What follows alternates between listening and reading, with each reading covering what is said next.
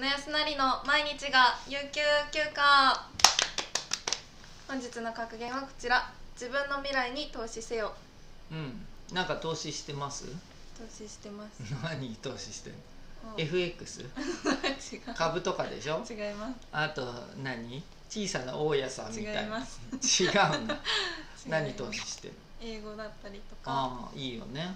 今は簿記のうん。勉強時間投資するってことねであの大体ね投資っていうとお金を投資するわけでしょ？マンション投資って。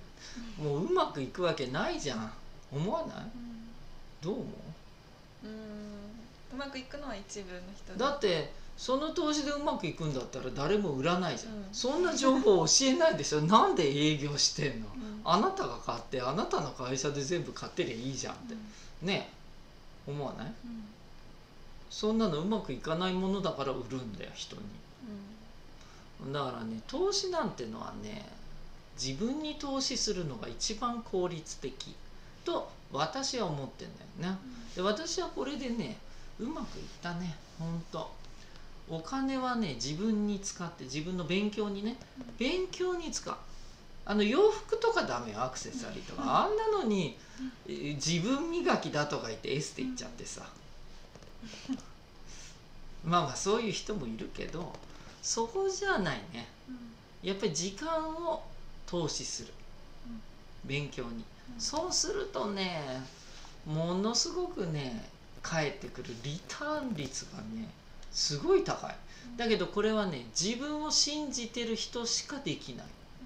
やったって無駄って信じられない人はね自分に対する投資ができなくて自分人を疑う人ってね一番最初に自分を疑ってるの。結局は。だから自分に投資ができない。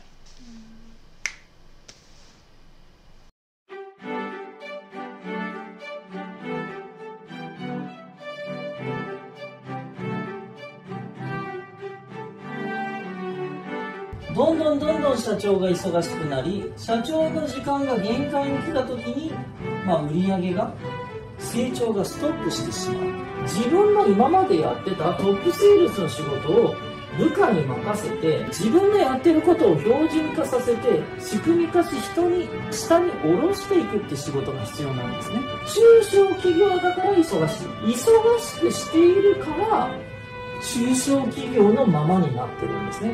今年の成果ではなく未来の成長にこだわるどっちに経営者はこだわる？成長にこだわれば短期的な痛みっていうのは受け入れられるんです